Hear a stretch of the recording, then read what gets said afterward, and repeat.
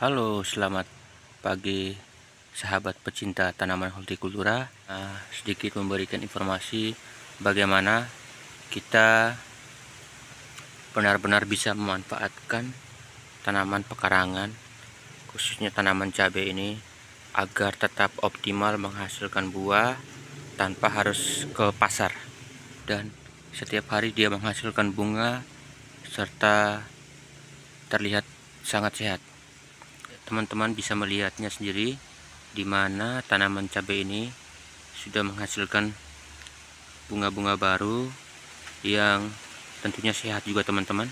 Tentunya sehat karena pada dasarnya uh, hasil dari bagaimana dia menghasilkan bunga baru ini adalah rutinnya kita dalam proses pemangkasan teman-teman langkah-langkah yang saya lakukan adalah teman-teman ya di sini saya melakukan pemangkasan.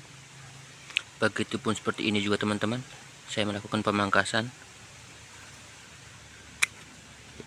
Yang paling tepat adalah kita melakukan pemangkasan seperti ini jam 9 atau jam 10 teman-teman. Bekas dari pemangkasan ini bisa langsung mengering. Pengoptimalan dari nutrisi yang lahir dari bawah akar ini dia bisa membentuk tunas-tunas baru karena kita sudah memangkasnya teman-teman. Saya memberikan uh, nutrisi berupa rendaman air beras rendaman air beras yang selalu saya uh, berikan kepada tanaman ini. Dan teman-teman yakin bahwa ini akan akan kembali optimal. Perlu dipangkas karena di sini sudah muncul tunas baru teman-teman. Dipangkas saja karena sudah muncul tunas baru. Nanti dia akan bertumbuh. Yang ini salah. Yang ini salah teman-teman. Ini tidak tidak direkomendasikan. Seharusnya seperti itu.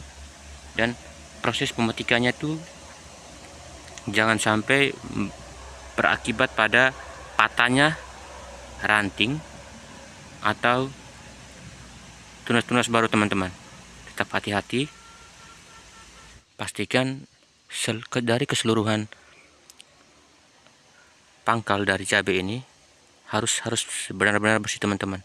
Sehingga bisa memberikan ruang terbaru untuk tunasnya bertumbuh kembali. Harus seperti ini teman-teman. Harus seperti ini. Ya harus seperti ini cara cara pemetikannya. Ketika teman-teman melakukan proses pemetikan yang hanya seperti ini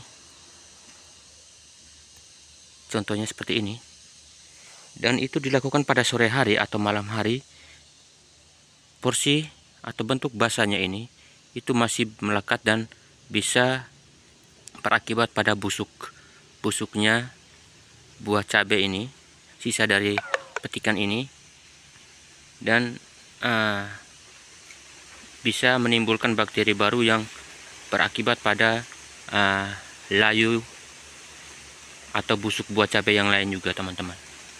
Pastikan semuanya harus benar-benar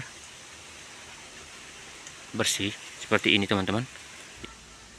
Ini cara terbaik bagaimana kita merawat agar kita bisa uh, menikmati tanaman cabai yang ada di lingkungan kita. Itu tahapan-tahapannya teman-teman. Rutin disiram. Tidak perlu menggunakan pestisida atau apa. Gunakan gunakan saja rendaman air beras rendaman air gula. Gunakan saja uh, air. Rajin dipangkas. Tetap kontrol. Tentunya tanaman cabai kita bisa kembali sehat, normal dan kita tentunya bisa menikmati apa yang sudah kita tekuni, yang sudah kita rawat. Ini hal sederhana ada hal yang sederhana saja, teman-teman. Semoga bisa bermanfaat untuk teman-teman semua.